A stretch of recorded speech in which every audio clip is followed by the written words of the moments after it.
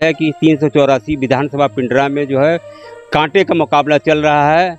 कड़ी टक्कर प्रिया सरोज समाजवादी पार्टी की दे रही है। अब सब भाजपा ही पे ज़्यादा ध्यान रखते हैं ठीक है? और जैसे यादव मुसलमान देख रहे हैं ज़्यादा का प्रिया पे और जो हिंदू हैं सब भाजपा पे दे रहे हैं। मैं यहाँ आई हूँ मोदी सरकार को तो चीज़ करने वो अब राशन नहीं बांटो राशन तो हम लोग आप हमको नौकरी तो हम राशन खरीद लेंगे पाँच किलो। पाँच किलो में पूरा परिवार नहीं चलता है। हम लोग का खड़ा हूँ। मोदी तो बहुत दिन से कर कर के कुछ नहीं किए, ये देंगे, वो देंगे, कुछ नहीं दिया।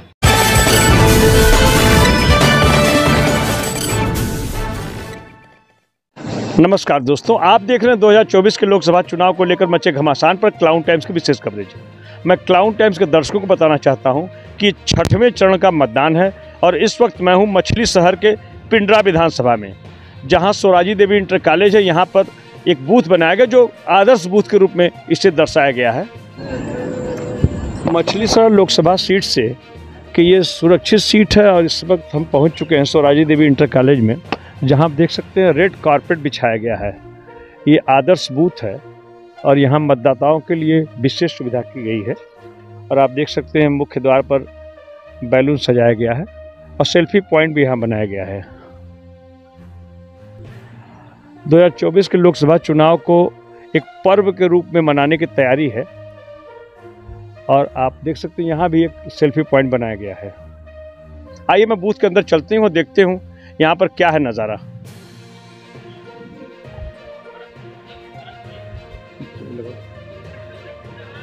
बूथ के अंदर प्रवेश करते देखिए, यहाँ पे कूलर भी लगाया गया है। और गर्मी को देखते हुए यहाँ मुकम्मल इंतज़ाम किए गए हैं, सुरक्षा के भी कड़े इंतज़ाम किए गए हैं। मतदाताओं की बात की जाए तो इक्का दुक्का मतदाता यहाँ नज़र आ रहे हैं। यहाँ भी आप देख सकते दो तीन ही मतदाता नज़र आ रहे हैं। देख सकते हैं, मतदाता नज़ारत हैं, लेकिन बाहर सुरक्षा के मुकम्मल इंतज़ाम है।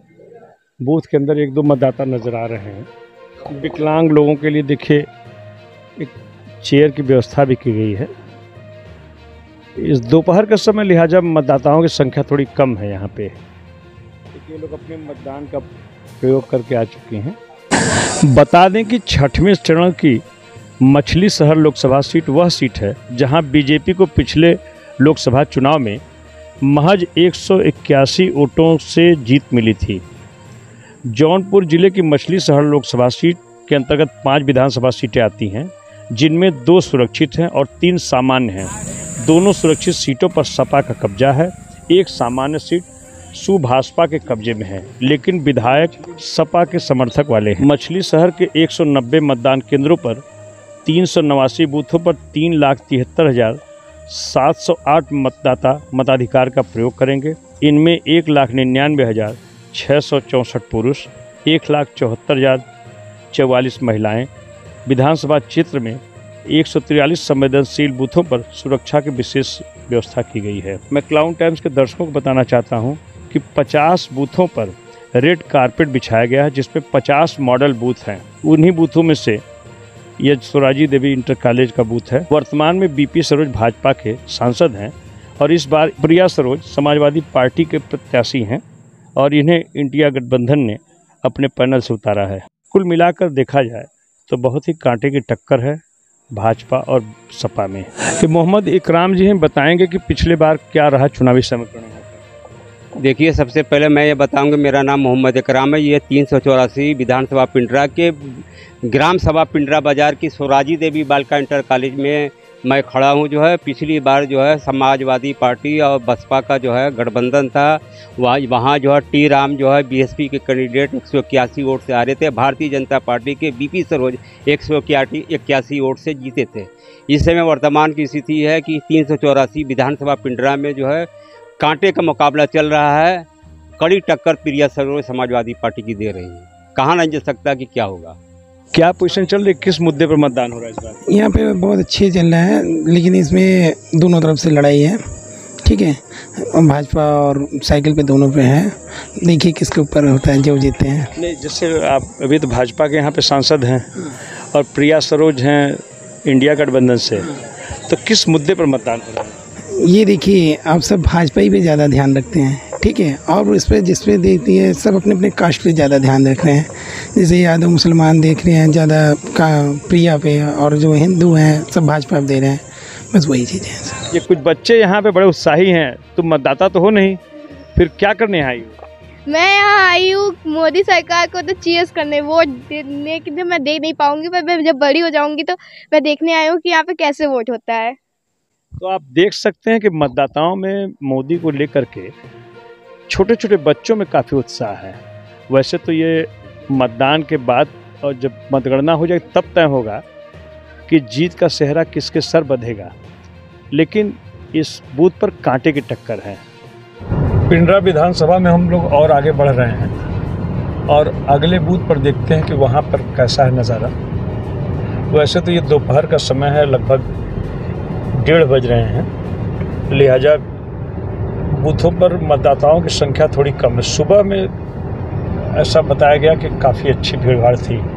ये मछली शहर की पिंडरा विधानसभा, ये बनारस विधानसभा में आता है और लोकसभा के चुनाव में ये मछली शहर में आ गया है। अब हम पहुँच चुके हैं national inter college Pindra booth पर और यहाँ भी देखते हैं कि मतदाताओं का कैसा यहाँ पे रुझान है। और हम इनसे बात भी करेंगे कि किन मुद्दों पर यहाँ मतदाता मत दे रहे हैं। यहाँ काफ़ी धूप है लेकिन पेड़ की छांव के नीचे कुछ लोग बैठे हैं। आप लोग यहाँ क्या कर रही हैं? अच्छा बी एल जी जी। जिन मतदाताओं को कोई दिक्कत होगी तो आप लोग उनका समाधान करते हैं। समाधान करते हैं। तो जैसे मान लीजिए जिनका अगर वोटर लिस्ट में नाम नहीं उनको क्या मदद कर पाते तो जिनका वोटर लिस्ट में नाम का क्या मदद कर पाएँगे? कोई मदद नहीं सर। हैं तो आप किन की मदद कर पाती हैं? जिनका लिस्ट में नाम है। ये बीएलओ हैं जिन मतदाताओं को कोई दिक्कत होती है उनकी सहायता के लिए लोग सरकार की ओर से बैठाए गए हैं ना? यहाँ पे देख सकते हैं प्रवेश द्वार पर लगभग पाँच से छः मतदाता हैं। ये दोपहर का समय लिहाजा धूप भी काफ़ी है। लोग सुबह में काफ़ी अच्छी संख्या मतदान कर चुके हैं। पोलिंग बूथ के बाहर जो भी प्रत्याशी हैं, उनकी पूरी सूची लगाई गई है, जिसमें कृपा शंकर सरोज, जो बहुजन समाज पार्टी से हैं, प्रिया सरोज, समाजवादी पार्टी से इंडिया गठबंधन के प्रत्याशी हैं, भोलानाथ, बीपी सरोज इन्हें कहते हैं, ये भारतीय जनता पार्टी के वर्तमान सांसद भी हैं, चुनावी मैदान में हैं ये। इनके अलावा और भी कई सारे प्रत्याशी हैं, जिनकी यहाँ पे अभी कोई चर्चा नहीं है। बारह प्रत्याशी चुनावी मैदान में हैं और आप क्रम से देख सकते हैं।